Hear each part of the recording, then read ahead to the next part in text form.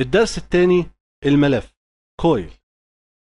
عرفنا في درس مولد الإشارة ال AC أنه يمكن إنشاء تيار كهربي باستخدام مجال مغناطيسي.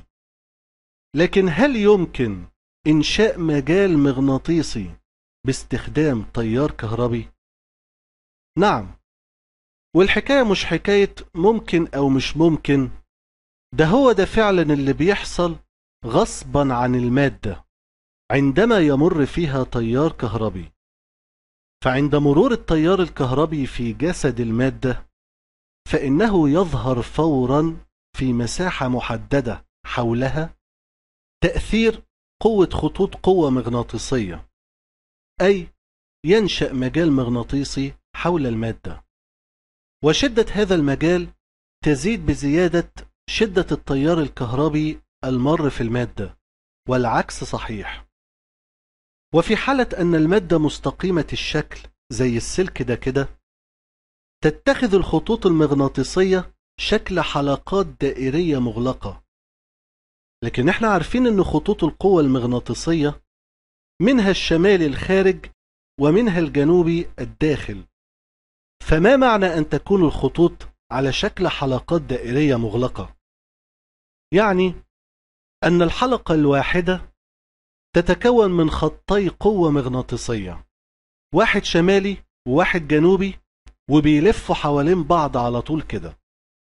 أي أن كل نقطة من نقاط هذه الحلقة تتكون من جزئين واحد شمالي وواحد جنوبي.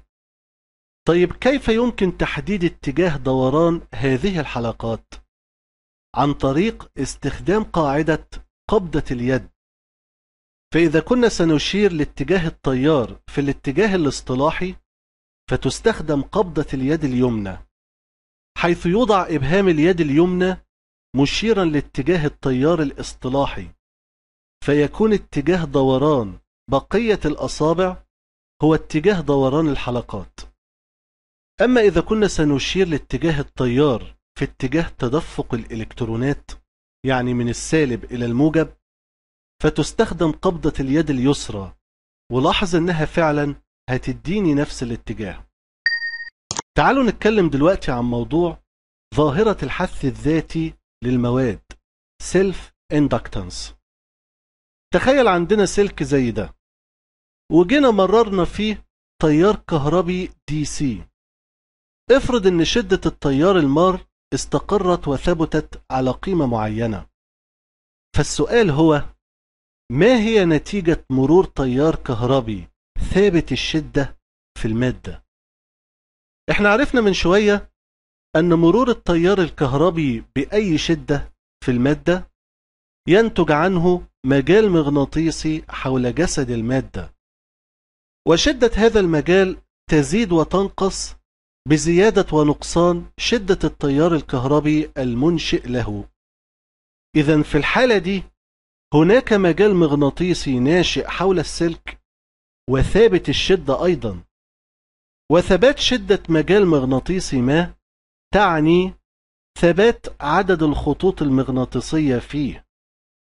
طيب فاكرين لما قلنا في الكورس السابق أنه إذا كان هناك موصل موضوع في مجال مغناطيسي ما وثابت في مكانه فإنه لا تتولد قوة دافعة كهربية على جسد الموصل لأن الشرطين لم يتحققوا. فلا بد أن يكون الموصل متقاطع مع الخطوط المغناطيسية ده الشرط الأول ويتحرك ده الشرط الثاني. وطبعا ممكن نثبت المجال المغناطيسي ونحرك الموصل فيه أو نثبت الموصل ونحرك المجال حوله. فاللي حاصل هنا إن السلك متقاطع مع خطوط المجال المغناطيسي الناشئ حول السلك. لكنه لا يتحرك فيه ولا المجال يتحرك حوله. إذا لن ينشأ جهد كهربي على السلك. طيب لو مررنا في السلك إشارة التيار دي. بتتزايد بمعدل معين di by dt ولا يساوي الصفر. فده معناه إن المجال المغناطيسي اللي هينشأ حول السلك هيتزايد في الشدة أيضا تدريجيا بشكل مناظر لتزايد شدة التيار. يعني عدد خطوط القوة المغناطيسية هيتغير من صفر إلى عدد معين. فبذلك تكون خطوط القوة المغناطيسية متقاطعة مع الموصل وتتحرك حوله. يبقى كده تحقق الشرطين فهينشأ فرق جهد كهربي بين طرفي السلك ويسمى جهد الحث أو الجهد المستحث induced voltage. وهي دي ظاهرة الحث الذاتي للمواد. وطبعا إحنا ملاحظين الشبه ما بين الحث الذاتي والقصور الذاتي فكلاهما يحدث لا إراديا. يعني حاجة مش بإيدينا ما نقدرش نمنعها.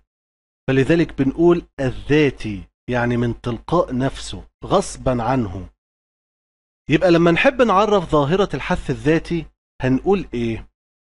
هي ظاهرة نشوء فرق جهد كهربي على جسد المادة نتيجة لتغير شدة التيار الكهربي المر فيها. ولما يكون التيار بيتغير بمعدل ثابت زي كده يعني di by dt لها قيمة واحدة ثابتة فده معناه إن عدد الخطوط بيتزايد بمعدل ثابت. يعني أكن الموصل محطوط في مجال مغناطيسي كده ومتقاطع مع عدد معين من الخطوط وبيتحرك كده أو كده. المهم أنه أثناء حركته لا يتغير عدد الخطوط المغناطيسية المتقاطع معها.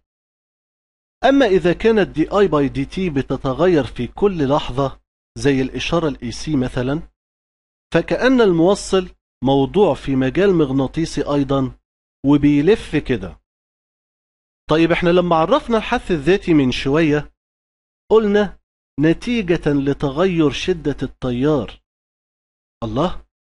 طيب ما هو تغير شدة التيار معناه إن الجهد اللي بيدفعه هو اللي تغير أصلا.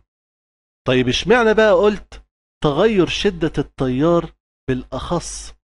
ما ينفعش أقول تغير قيمة فرق الجهد. لا. ليه؟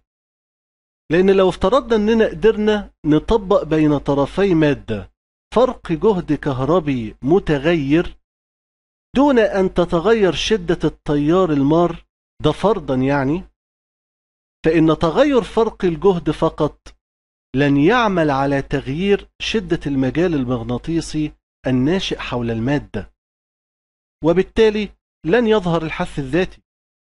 لذلك بنقول تغير شدة التيار بالأخص مش الفولت. كده في أسئلة كتير. كتير قوي. قبل ما نسأل السؤال الأول عاوزك تنفذ الكلام اللي هقوله لك دلوقتي. درس الملف ده مش عاوز أقول درس صعب لكن الصربعة أو الاستعجال أو عدم التركيز فيه ممكن يخليك تتشتت.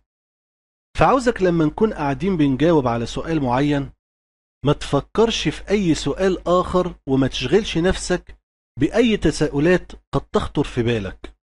ركز في السؤال اللي إحنا بنجاوب عليه فقط. طيب السؤال الأول. هذا الجهد الكهربي المستحث كيف تكون قطبيته؟ تتخذ قطبية هذا الفرق في الجهد اتجاها؟ محاولة تثبيت شدة التيار الكهربي المر في المادة على قيمته.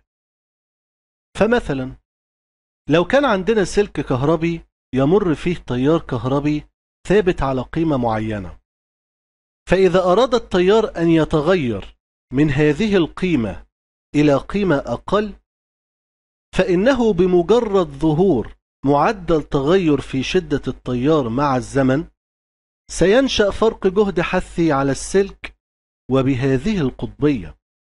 حتى تعمل هذه القطبية على تمرير تيار حثي في نفس اتجاه التيار الرئيسي.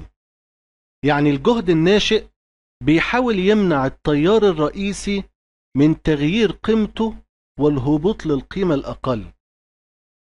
أما إذا أراد التيار أن يتغير من هذه القيمة إلى قيمة أعلى فإن جهد الحث الناشئ سيكون بهذه القطبية أي يحاول منع التيار من الصعود إلى القيمة الأعلى. طيب على أي أساس بتقول إن القطبية دي كده معاكسة وكده مش معاكسة. وليه مشيت التيار كده؟ ليه ما مشيتوش كده؟ عاوزين بقى نفرق ما بين حاجتين. فرق الجهد الساقط وفرق جهد المصدر. يعني لما نعمل دايرة بسيطة زي دي التيار في الدايرة ماشي كده.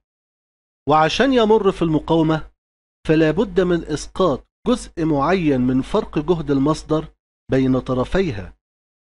ففرق الجهد الساقط تمشيه من جوه العنصر لأنه بيدفع جوه العنصر. لكن فرق جهد المصدر بيدفع من خارج هذا العنصر اللي هو المصدر لأن التيار ما بيمشيش من جوه البطارية بل ينتقل من طرف لطرف. طيب جهد الحث الناشئ ده جهد ساقط من مصدر الجهد الرئيسي ولا يعتبر مصدر آخر للجهد؟ لا ده يعتبر مصدر آخر لدفع التيار.